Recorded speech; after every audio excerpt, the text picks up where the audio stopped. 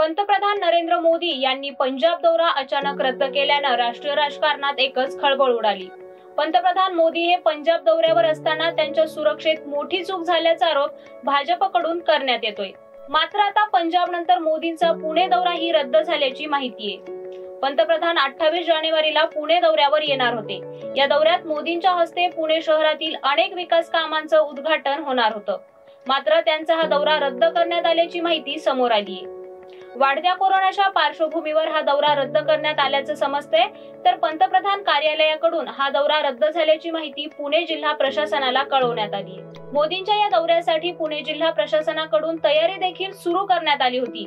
मात्र मागील काही दिवसांपासून सातत्याने कोरोना रुग्णात वाढ होत असल्यामुळे हा दौरा रद्द करण्यात आलाय. अठ्ठावीस जानेवारीला पंतप्रधान नरेंद्र मोदी पुणे दौऱ्यावर येत त्यांच्या उपस्थितीत पुणे मेट्रोचं उद्घाटन. दिवंगत ज्येष्ठ व्यंगचित्रकार आर के लक्ष्मण यांच्या नावाचं कलादालन पुणे महापालिकेतील शिवाजी महाराज यांच्या पुतळ्याचं उद्घाटन करण्यात येणार होतं. तसंच नरेंद्र मोदी यांच्या उपस्थितीत विविध कार्यक्रमांचं आयोजन करण्यात आलं होतं.